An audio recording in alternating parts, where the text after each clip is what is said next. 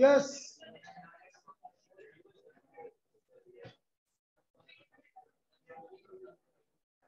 chain index number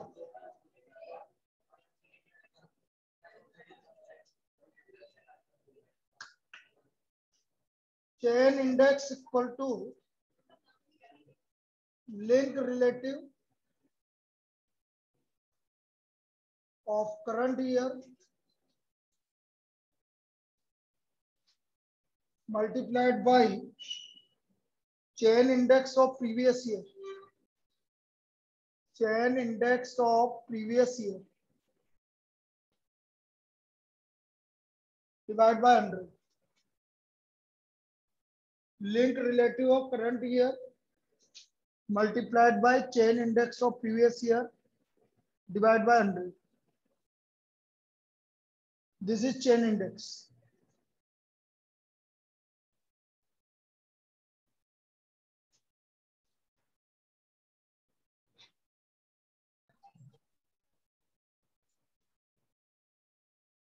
Chain index of current link relative और current year link relative क्या होता है? अभी समझा।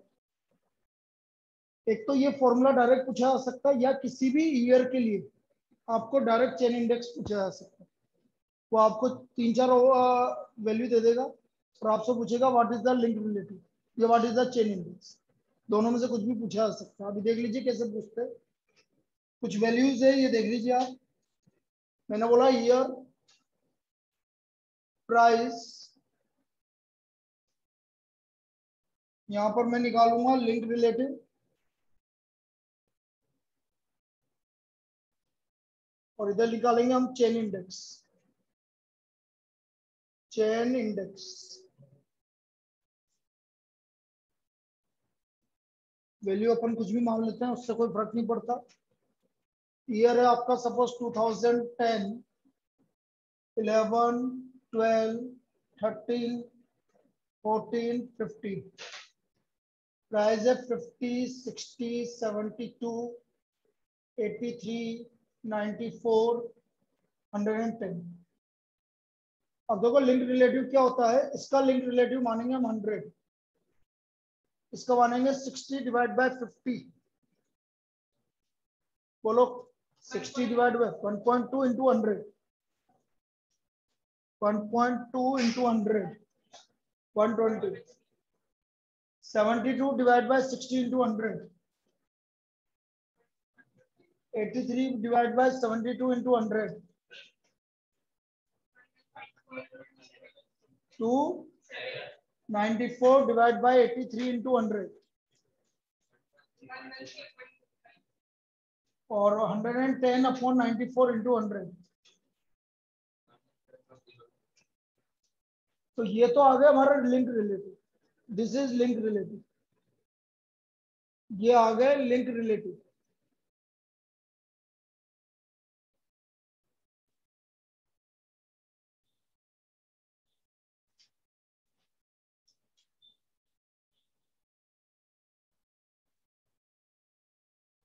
अब यदि मैं चेन इंडेक्स की बात करूँ ये तो हंड्रेड हो गया। अब हमने क्या बोला, देखो sir link relative of current year, multiplied by chain index of previous year, और डिवाइड बाय हंड्रेड कितना हो गया? फिर link relative of current year कितना आ गया? देखना 144 आएगा।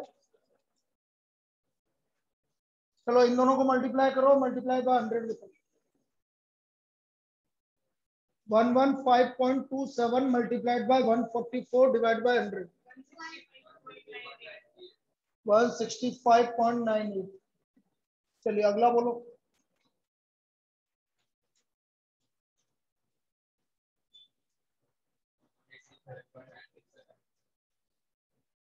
लास्ट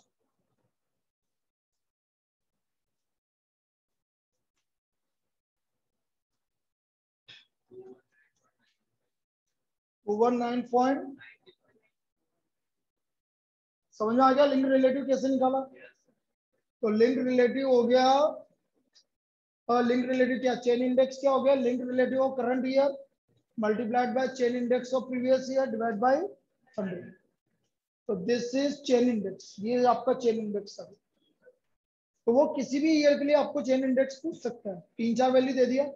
उसने बोला what will be the chain index for 2013 इस तरह से वो निकालने के लिए बोल दिया।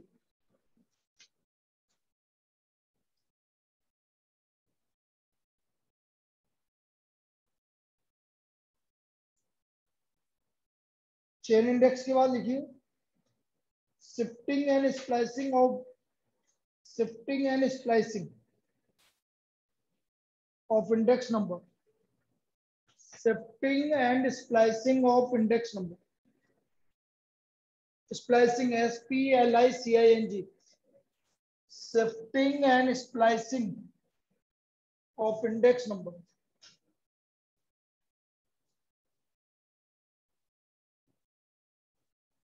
and splicing of index number.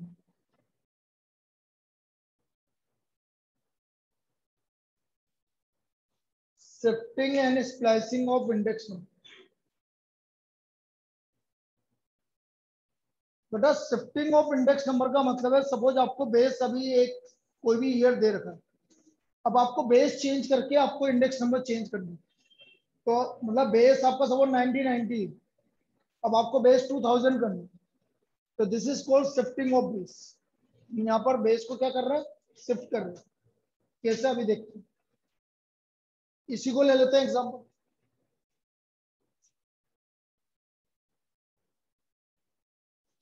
अभी मैं क्या करता हूँ base 2010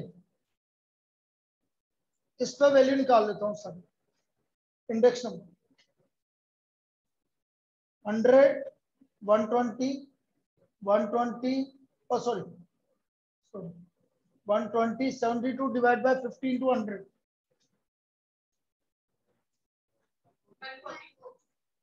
eighty three divide by fifteen two hundred 94 divided by 15 to 100 or 110 divided by 15 to 100 ये आपका 2010 पर इंडेक्स आ गया। यहाँ तो कोई दिक्कत? ये 2010 पे इंडेक्स अब मुझे शिफ्ट करना है बेस फॉर एग्जांपल मुझे बेस शिफ्ट करना है। मुझे 2012 पर शिफ्ट करना है। कहाँ पर शिफ्ट करना है 2012 तो 2012 वाले को 100 मान ठीक है? अब देखो 100 divide by 144 forty four into hundred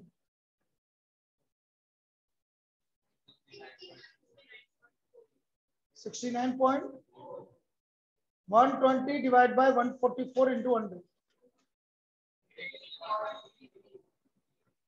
166 divided by 144 into 100. 80. 188 divided by 144 into 100. 130 point और लास्ट 220 डिवाइड बाय 140 कितना बेटा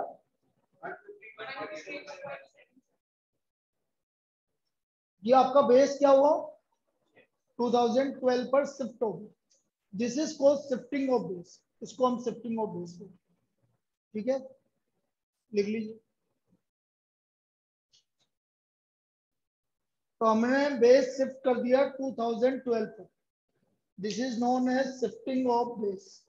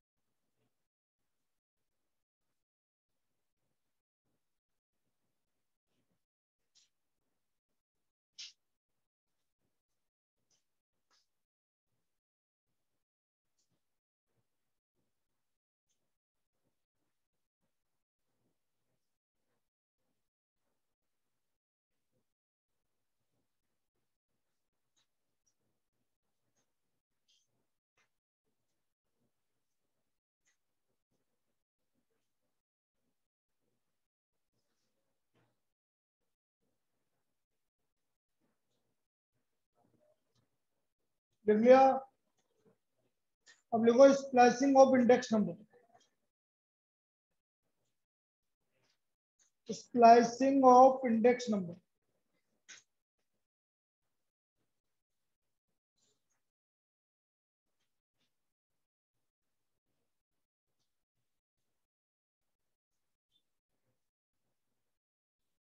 definition लिखो। Splicing of index number. Combining two or more index number. Combining two or more index number of different base. Combining two or more index number to a different of different base to a index number of common base to a index number of common base is known as splicing of index number is known as splicing of index number common base is known as splicing of index number दो या दो से ज़्यादा index number आपको given है different base के। अब इन सबको मर्ज करके एक कॉमन बेस का इंडेक्स नंबर बनाना है। तो उसको हम क्या बोलेंगे? स्प्लाइसिंग ऑफ़ इंडेक्स जैसे यहाँ पर ही देख लेते हैं, अभी कितने बेस आ रहे हैं आपको? दो बेस आ रहे हैं। अब मुझे इन दोनों को मिला के एक कॉमन बेस का इंडेक्स नंबर बनाना है। तो आपको ये नहीं गिवन होगा फिर। इस वाली प्रॉब्लम में यहाँ से स्टार्ट हो गई इतना गिवन है, इतना गिवन बस। ये दो इंडेक्स नंबर ये वाला इंडेक्स नंबर यहाँ से स्टार्ट हुआ, ये वाला इंडेक्स नंबर यहाँ से स्टार्ट अब मुझे इन दोनों को मर्ज करना और मर्ज करके एक कॉमन बेस का इंडेक्स नंबर बनाना है। सपोज़ 2012 का ही इंडेक्स नंबर बनाना है। ये कौन सा इंडेक्स है जो कहाँ से स्टार्ट हो रहा है? आपको ये वैल्यू गिवन है। ये कौन सा इंडेक्स है जो कहाँ से स्टार्ट हो रहा है? आप पहले का पता नहीं। अब मुझे इन दो इंडेक्स नंबर को स्प्लाइस करके, मिलाकर, एक इंडेक्स नंबर बनाना तो index number with base suppose 2012 ही कर देते हैं। विद बेस 2012 तो 2012 का बेस करना तो ये तो एज इट इज़ आ जाएगा। और ये अभी जैसे निकाला था, बिल्कुल सेम वैसे निकल जाएगा। कैसे निकलेगा? 100 डिवाइड बाय कितना बताया था? 80 कितना बताया था? और 120 divide by 144 now this is a index number with फिर आप बोलो, सर, पहले वाले में अंतर क्या? है पहले वाले में आपको एक की पूरी वैल्यू गिवन होगी। यहाँ पर ये वैल्यू नहीं गिवन ये दोनों वैल्यू ये आपका डिफरेंट बेस चल रहा है। यहाँ से वैल्यू यहाँ से स्टार्ट हो रही है, इसकी यहाँ से स्टार्ट हो रही है। अब इन दोनों को मर्ज करके आपने ये वाला बना पूछा क्या जाएगा? पूछा कुछ नहीं जाएगा स्प्लाइसिंग की डेफिनेशन पूछी वो ये सिर्फ़ ये पूछेगा what is the splicing of index चार ऑप्शन इसके अलावा कुछ नहीं पूछेगा। ठीक है? सिर्फ़ स्प्लाइसिंग की डेफिनेशन या वो ये पूछ सकता है वैल्यू दे दी, कि बताओ इसका इंडेक्स नंबर ये है, इसका इंडेक्स नंबर ये है। तो बताओ, यदि हम इस बेस पे डालते हैं तो इसका इंडेक्स नंबर क्या जैसा भी इसके अलावा और नहीं कुछ। लिख लीजिए।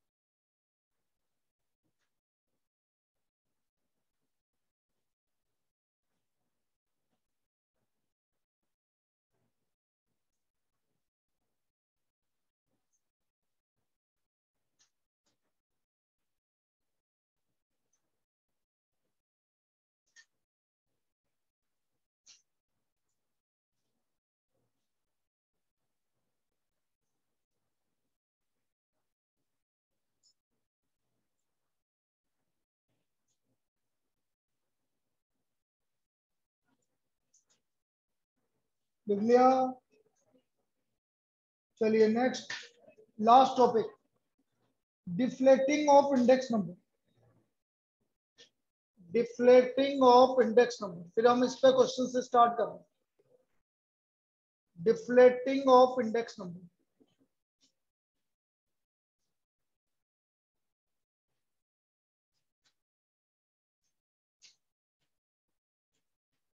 बेटा डिफ्लेटेड वैल्यू तो आपको पता है ना?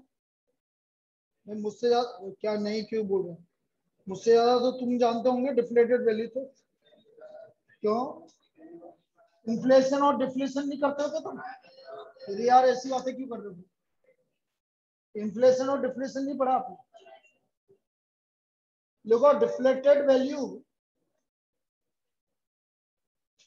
यदि कभी भी आपको डिफ्लेक्टेड वैल्यू निकालनी है तो आपको लिखना पड़ेगा current value upon price index of current view price index of current view तो आपको डिफ्लेटेड वैल्यू निकल जाएगी। Deflected value is equal to current value upon price index of current view किसी भी ईयर की डिफ्लेटेड वैल्यू निकालनी है तो क्या आएगी? Current value upon price index of current चलिए अब कुछ इंपॉर्टेंट पॉइंट्स लिख लीजिए और फिर क्वेश्चन स्टार्ट करते सम इंपॉर्टेंट पॉइंट्स जिसमें प्रॉब्लम जनरली पूछा जाता है।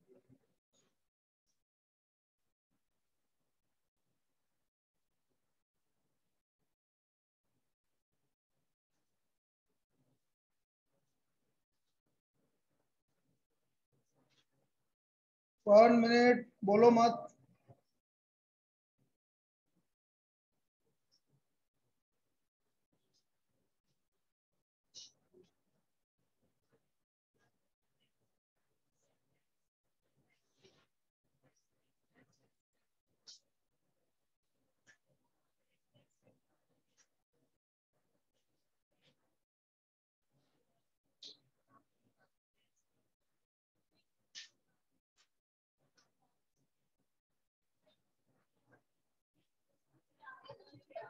देखो cost of living index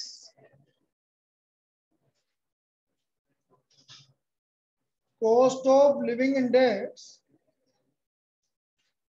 this is equal to sigma P one Q zero upon sigma P zero Q zero into hundred कौन सा मेथड हो गया? Laspeyres Laspeyres method हो गया।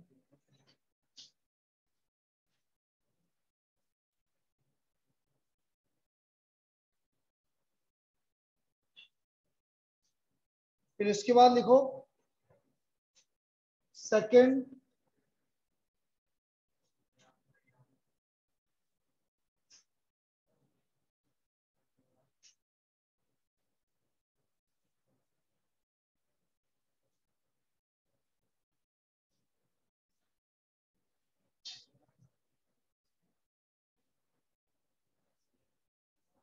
purchasing power of money purchasing power of money. This is equal to 1 upon price index.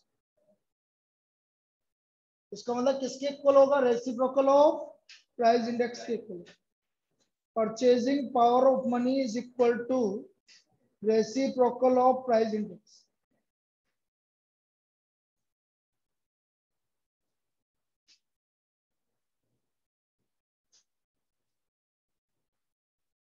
cost of living index cost of living index is always a weighted index is always a weighted index लिखो group index group index this is equal to sigma iw upon sigma w this will be the group index sigma i w upon sigma w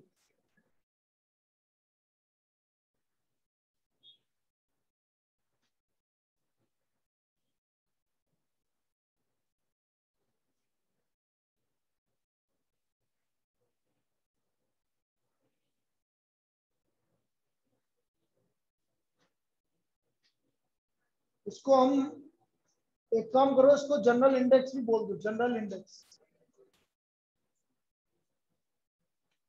sigma I W upon sigma W बस ठीक है। Cost of living index आएगी आपका sigma P one Q zero upon sigma P zero Q zero इसके बाद लिखो, एक और लिख लीजिए फिफ्थ पॉइंट और फिर क्वेश्चन स्टार्ट कर। कॉस्ट ऑफ़ लिविंग इंडेक्स बातें नहीं are also use for finding real wages और अभी बताया था ना finding real wages by the process of deflating by the deflating of index number by deflating of index number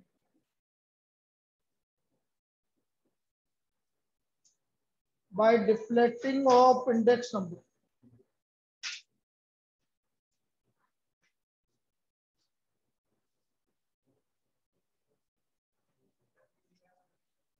नीचे का नहीं लिखा था? बढ़िया, आराम से बातें करते करते लिख रहा अच्छा।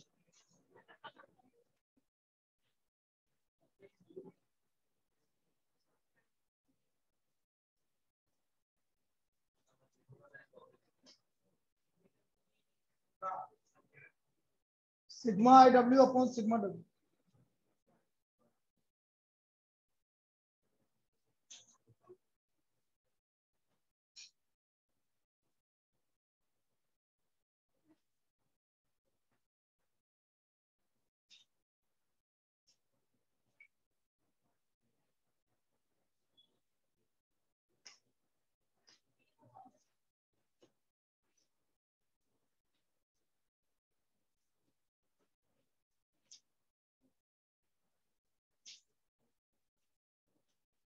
चलिए, अब क्वेश्चंस लिख लीजिए। चैप्टर कंप्लीट हो चुका है।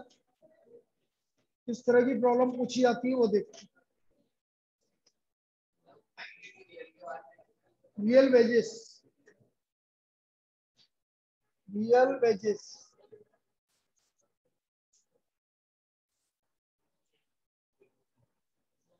लिखिए first problem the cost of living index the cost of living index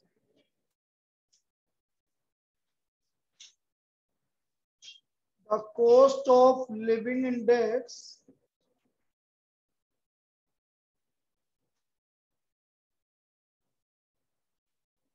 in year in years 2015 and 2018 are 97.5 and 115 respectively. The salary of a worker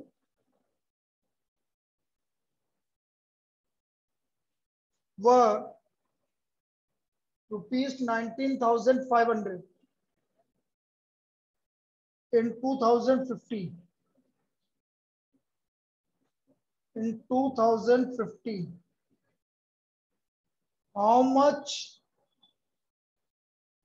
additional salary या additional DA DA DNS allowance किसके parents आपके government job में? किसी के है ना? तो government job में जिनके पेरेंट्स होते हैं उनकी सैलरी ऐसा नहीं कि इस बार टेन परसेंट बढ़ गई ट्वेंटी परसेंट बढ़ गई। उनकी जो सैलरी बढ़ती है वो किसके रेस्पेक्ट में बढ़ती है? डीएनएस अलाउंस के रेस्पेक्ट में। वो। तो उसे बोलते हैं D this is called D how much D A was required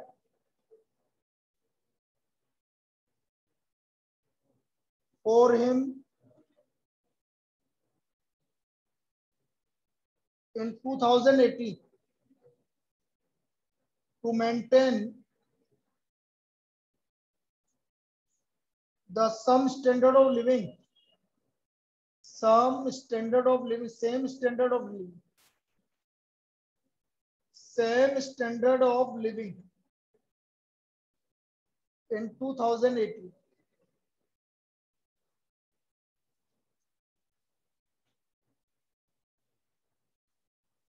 अब देखो कॉस्ट ऑफ़ लिविंग इंडेक्स 2015 में कितना 97.5 अब ये बड़ा इजी कंसेप्ट होता है, ध्यान से समझना। और इस तरह की प्रॉब्लम आती है 2015 लिख लो यहाँ। 2018 लिख लो। ये 97.5 लिख लो या 115 लिख लो। और यहाँ की सैलरी लिख लो। सैलरी कितनी है? और यहाँ की सैलरी मान लो कितनी है? एक्स अब कैसे करेंगे? देखो बेस ईयर का इंडेक्स अपॉन करंट ईयर का इंडेक्स बेस ईयर की सैलरी अपॉन करंट ईयर की सैलरी बताओ एक्स की वैल्यू कितनी आ रही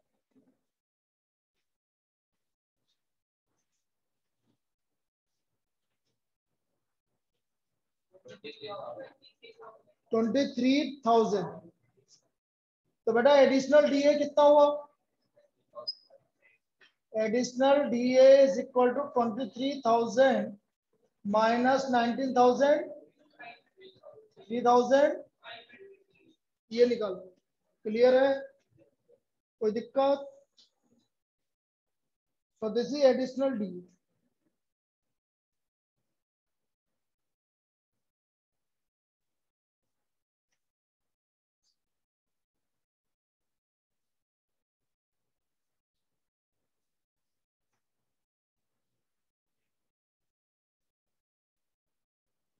अरे ये समझ में आ गया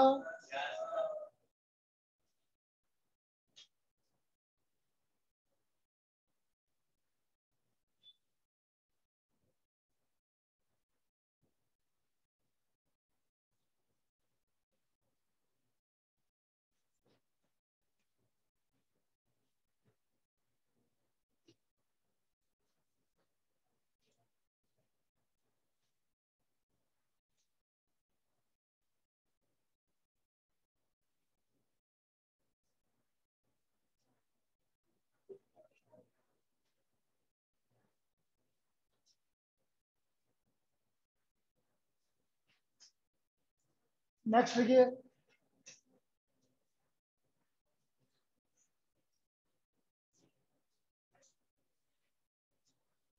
The monthly income of employee was the monthly income of employee was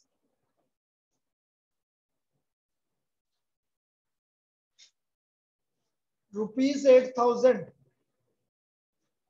in 2014 the consumer price index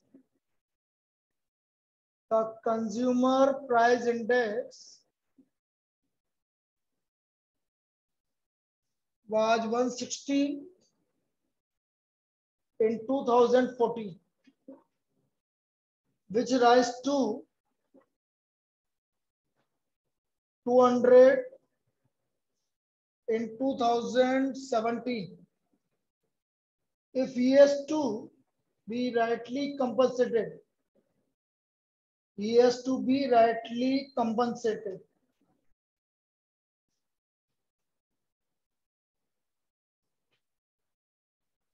The additional dns allowance the additional da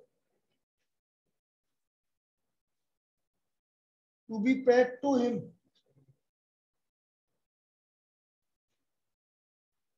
In 2017 बताइए। 2017 में कितना एडिशनल डीए मिलेगा उसको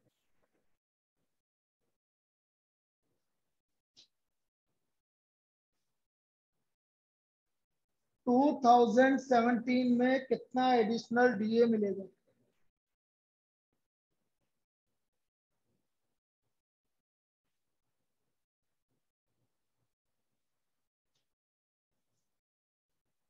किसने निकाला?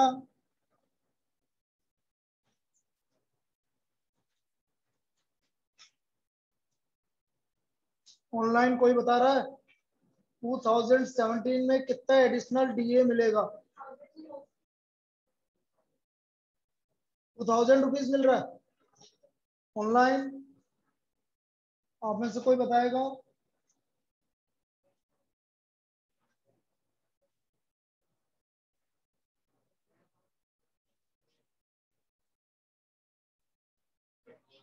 हेलो।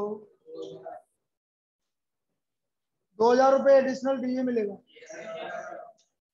अब कैसा आया? 160 divide by 200 8000 divide by X 8000 into two hundred divide by 160 तो ये आ गया, दस हज़ार रुपये सैलरी होनी चाहिए। तो एडिशनल डीए कितना हो गया? 2000 एडिशनल डीए कितना हो गया? 2000 दिस इज़ एडिशनल डीए ठीक है? पढ़ लेंगे इस तरह की प्रॉब्लम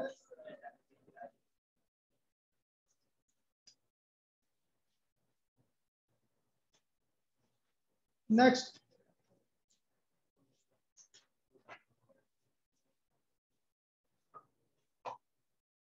अब मैंने क्या बोला आपको? देखो एक्सरसाइज तो पूरा थ्योरिटिकल है। उसमें तो पूरी थ्योरी है, आप उसको कर लेना। बाकी एडिशनल के सारे करना है। और जब डिस्कस करेंगे, तब बता दूँगा कौन से नहीं करने। जब जो नहीं आएँगे, वही नहीं करने। तुम्हें। देखेंगे।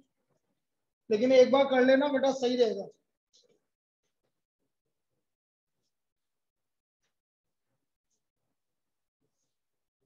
If the 97 1970 index with base 1965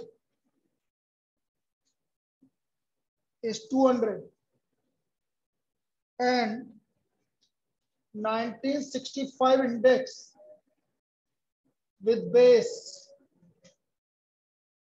1900 is 150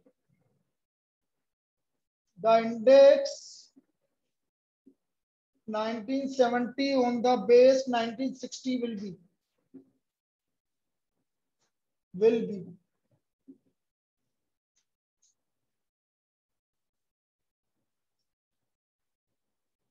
अब देखो यहाँ पर समझना 1965 1970 19 एक मिनट 1900 नहीं है 1970 अच्छा 19 1960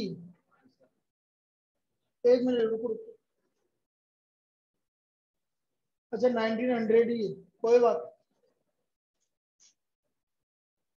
गलत दे रखा है। चलो 60 अब देखो सर 1960 1965 1970 अब 1970 का इंडेक्स विद बेस है आपका, ये 200 होगी। यही बोला है ना? बेस है तो इसको 100 मानेंगे तो ये कितना है? 200 फिर 1965 का बेस क्या है? 150 अब मुझे क्या निकालना है? 1970 का बेस किस बेस पर? 1960 बेस तो 1960 बेस पे करना है तो देखो, समझो, इसको 100 को चेंज नहीं करना है। ये 150 है तो इसको किससे मल्टीप्लाई करो? 1.5 से। ये दोनों सेम बनाना है ना आपको। तभी तो बेस सेम होगा इसका। भाई 1960 बेस लेना है तो ये तो 100 ही लेना पड़ेगा। 100 बेस पर इसकी वैल्यू चाहिए मुझे। तो इसको मुझे सेम बनाना है इन दोनों। तो ये 150 है तो इसको किससे मल्टीप्लाई कर दो? तो कितना हो गया भाई? देखो ध्यान से।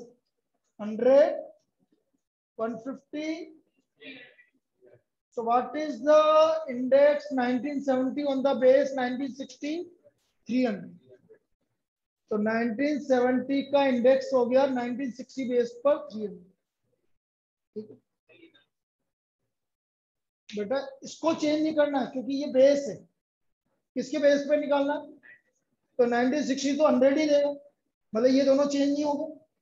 अब ये 150 है तो इसको 150 बना लो, तभी तो इससे कंपेयर करेंगे। तो ये 150 कैसे बनेगा? 1.5 से मल्टीप्लाई इसको भी 1.5 दोनों उसको।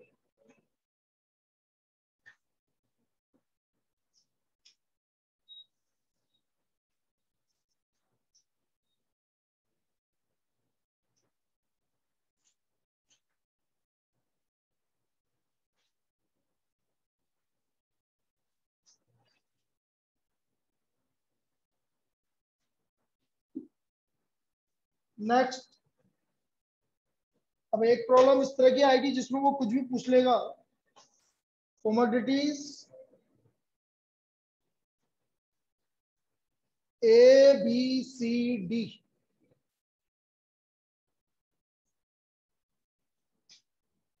फिर base year 1992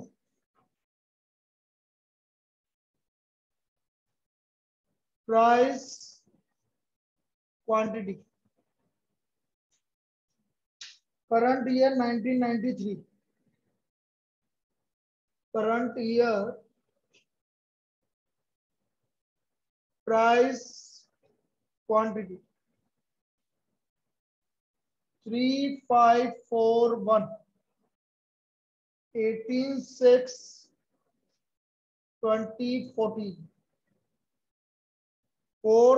six three.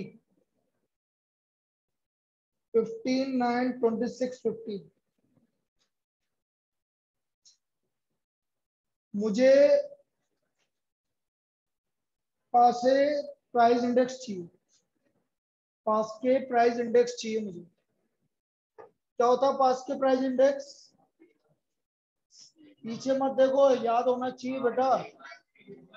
मैंने तरीका भी बताया था। Sigma P one upon sigma P zero और पास की पूछा है तो Q1 से मल्टीप्लाइड अब देखो, ये है P ज़ीरो क्यू ज़ीरो और ये है P वन क्यू वन ऊपर क्या आ रहा? P वन क्यू वन करते चलो multiply sixty forty five twenty six into six one fifty six plus upon sigma P zero Q one बोलो forty five forty five one zero four plus fifteen into hundred निकालो भाई। कितना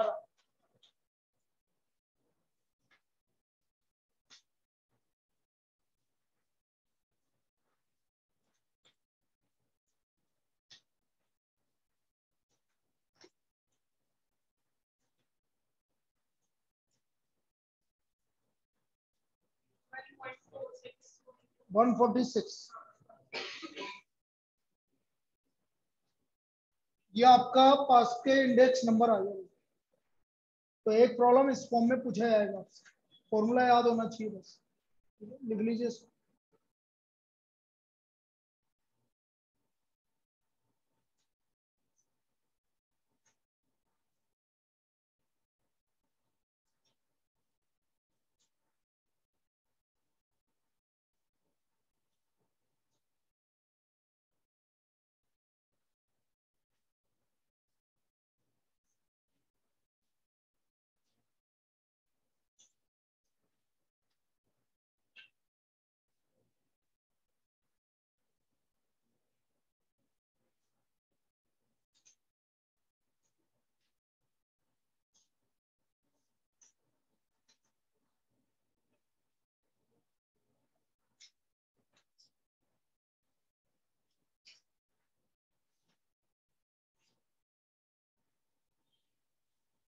next